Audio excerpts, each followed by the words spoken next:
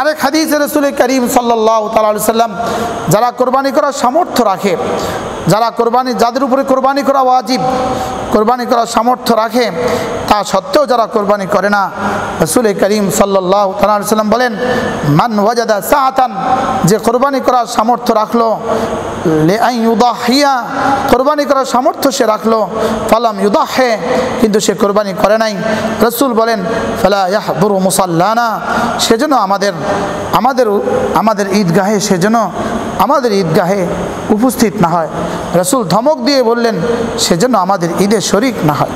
Sponsored by Darul Quran Siddiqia Madrasa একটি আন্তর্জাতিক মানের হিবস শিক্ষা প্রতিষ্ঠান।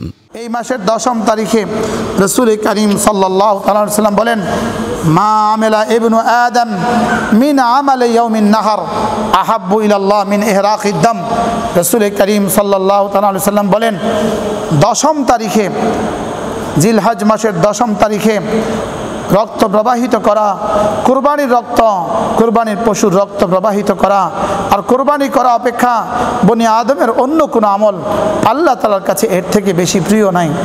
দশম তারিখে সবচেয়ে প্রিয় আমল হলো কোরবানি করা। দশম তারিখে সবচেয়ে প্রিয় আমল কেয়ামতের দিন কোরবানিকৃত পশুর শিং, লোম এবং খুর সহ উপস্থিত হবে। অর্থাৎ আল্লাহ তালা নেকির পাল্লা ওজন দিয়ে দিবেন। নেকির পাল্লা কোরবানি পশু, শিং, কোরবানি পশুর পশম এবং কোরবানির খুরগুলো আল্লাহ তালা নেকির পাল্লা দিয়ে দিবেন। আর কোরবানির পশুর রক্ত মাটিতে পতিত হওয়ার পূর্বেই আল্লাহ তালার দরবারে তা কবুল হয়ে যায়।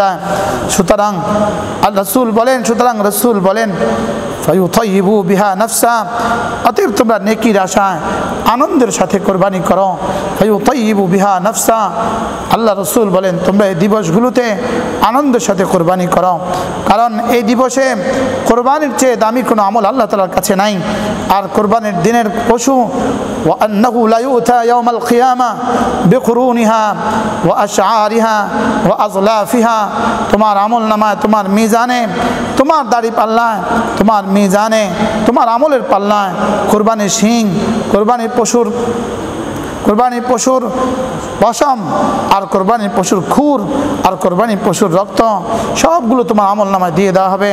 আর আল্লাহ তালা কোরবানির পশুর রক্ত জমিনে পড়ার আগে আগে আল্লাহ তালা কবুল করে ফেলবেন। আল্লাহ তালা আমাদেরকে কোরবানি করার তৌফিক দান করেন। আরেক হাদিসে রসুল করিম সাল্লাহ সাল্লাম বলেন হযরত জায়দ ইবনে আরকাম রাদিয়াল্লাহু তাআলা বলেন قال اصحاب رسول الله صلى الله عليه وسلم يا رسول الله ما هذه الاضاحي রসুল করিম সাল্লাহ আলী ওসাল্লামকে সাহাবা একরাম জিজ্ঞেস করলেন ওগো আল্লাহ নবী এই কোরবানি কি? এটা কি? রসুল করিম সাল্লাহ সাল্লাম বলেন, সুন্নত আবিকুম ইব্রাহিম। এগুলো তোমাদের আব্বা ইব্রাহিম আলাইসালামের সুন্নত। কোরবানি হজরত ইব্রাহিম আলাইসালামের সুন্নত। এবার সাহাবা একরাম জিজ্ঞেস করলেন, কলু ফেমা লানা ফিহা ইয়া রসুল আল্লাহ ওগো আল্লাহ নবী, ইয়া রসুল আল্লাহ আমরা যদি কোরবানি করি, তো আল্লাহ তালা আমাদেরকে কি কি নেকি দান করবেন?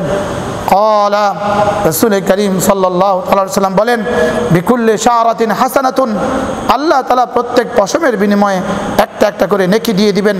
কলু ফসুফ ইয়া রসুল আল্লাহ সাহাব একদম জিজ্ঞেস করলেন, ইয়া রসুল আল্লাহ তাহলে দুম্বার ভেড়ার পশমের বিনিময়েও কি মিলবে? কারণ দুম্বার ভেড়ার মধ্যে সবচেয়ে বেশি পশম থাকে।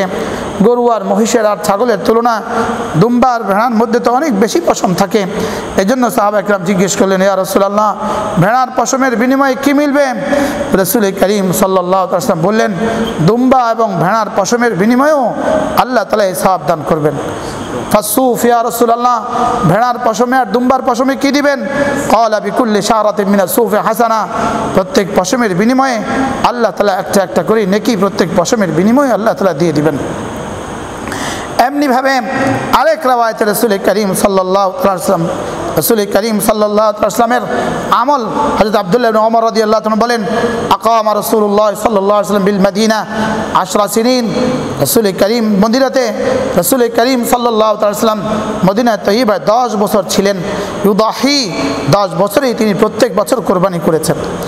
আরেক হাদিস রসুল করিম সাল্লাম বলেন ইয়া ফাতেমা ফাতেমা শুনো কুমি ইলা উদহিয়াতিক তুমি তোমার কোরবানির পশুর কাছে গিয়ে দাঁড়াও। ফাঁস হাদি হ্যাঁ ওটাকে তুমি আদর করো আর ধরো। ওটাকে একটুখানি একটু ওখানে উপস্থিত হও। ফাইনালাকে বি আউ্বলে কাতরাতিন তাকতুর মিন দামিহা। আই ইয়াগফির আই ইয়াগ আই ইউগফার আলাকা আই ইয়াগফির আলাকা মা সালাফা মিন দুনুবিক। রাসূল বলেন কুরবানির পশুর প্রথম ফোটা রক্ত জমিনে পড়ার আগেই আল্লাহ তালা তোমার গুনাহগুলোকে মাফ করে দিবেন। হযরত আয়েশ ফাতেমা রাদিয়াল্লাহু তাআলা জিজ্ঞেস করলেন খালাত ইয়া রাসূলুল্লাহ? ওগো আল্লাহর নবী ইয়া রাসূলুল্লাহ, আলানা খাসাতুন আহলাল বাইত। আমরা আহলে বাইতের জন্য এটা কি বিশেষভাবে, এটা কি আহলে বাইতের জন্য বিশেষ পুরস্কার? আওলানা ওয়াল মুসলিমিন, নাকি আমাদের এবং সমস্ত মুসলমানদের জন্য এই পুরস্কার? কলা ওয়ালিল মুসলিমিন। রসুল করিম সাল্লাহ সাল্লাম বলেন, না, এটা আমাদের জন্য এবং সমস্ত মুসলমানদের জন্য এই পুরস্কারের ঘোষণা।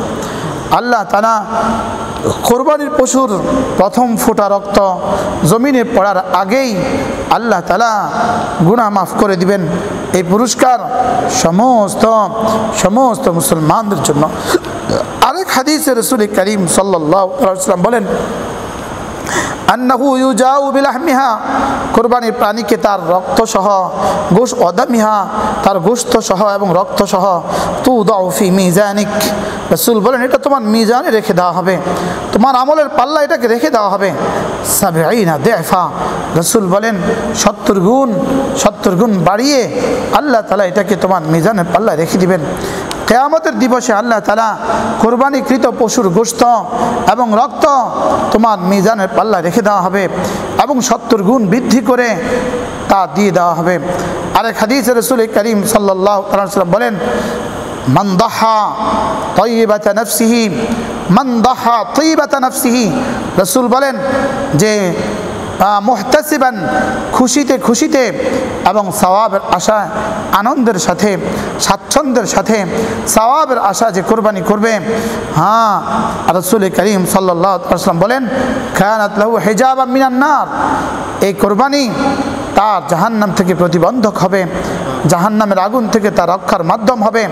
এই কোরবানি দ্বারা আল্লাহ তালা তাকে জাহান্নাম থেকে হেফাজত করবেন। এজন্য বিশেষ করে ঈদের রাতের ফজিলত, ঈদের রাতের ফজিলত, আরেক হাদিসে রসুল করিম সাল্লাহ সাল্লাম ঈদের রাতের বেলা, ঈদের রাতের বিশেষ ফজিলত বর্ণিত হয়েছে।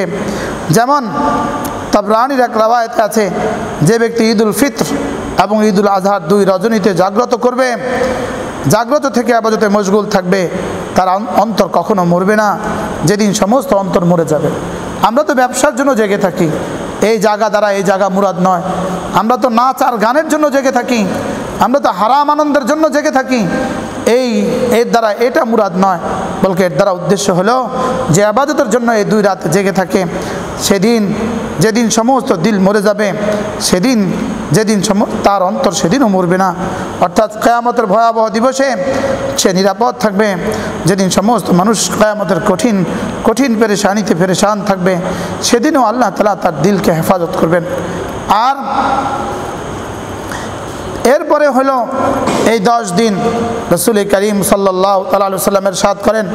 জিলহজ মাসের প্রথম দশ দিন যখন শুরু হয়, ইজা দেখাল আশরু, যখন দশ দিন শুরু হয়, তখন আরাদা বা আদুকুমাইউদাহিয়া কেউ যদি কোরবানি করার ইচ্ছে রাখে, কোরবানি করার ইচ্ছা পোষণ করে, সে যেন আর কোরবানি করা পর্যন্ত নিজের চুল, নিজের পশম, নিজের লোম, নিজের মোচ, নিজের গোফ এবং নিজের চুল এবং নিজের নখ না কাটে এবং নিজের সমস্ত অপ্রয়োজনীয় পশম না কাটে, আল্লাহ রসুল বলেন, সেজন্য এগুলো না কাটে।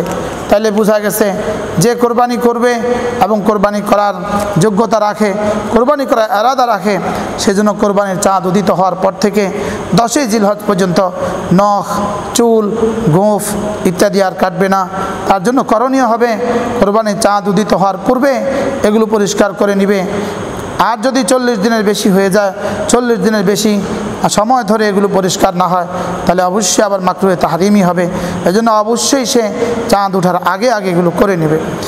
আরেক হাদিস রসুল করিম সাল্লাহ তাল্লাম যারা কোরবানি করার সামর্থ্য রাখে, যারা কোরবানি, যাদের উপরে কোরবানি করা ওয়াজিব, কোরবানি করার সামর্থ্য রাখে, তা সত্ত্বেও যারা কোরবানি করে না, রসুল করিম সাল্লাহ সাল্লাম বলেন, মান ওয়াজাদা সাহাতান যে কোরবানি করার সামর্থ্য রাখল ইউদাহিয়া, কোরবানি করার সামর্থ্য সে রাখল, ফালাম ইউদাহে, কিন্তু সে কোরবানি করে নাই। রসুল বলেন, ফালা ইয়াহদুরু মুসাল্লানা সেজন্য আমাদের আমাদের আমাদের ঈদগাহে সেজন্য আমাদের ঈদগাহে উপস্থিত না হয়। রসুল ধমক দিয়ে বললেন, সেজন্য আমাদের ঈদে শরিক না হয়।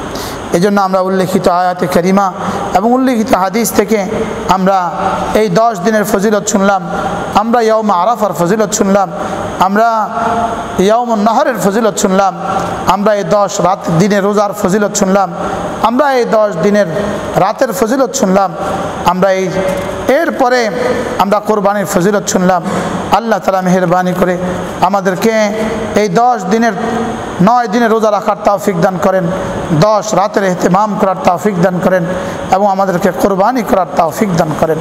আল্লাহ তালা আমাদেরকে কোরবানির সঠিকভাবে আমাদের কোরবানি করার তাওফিক দান করেন।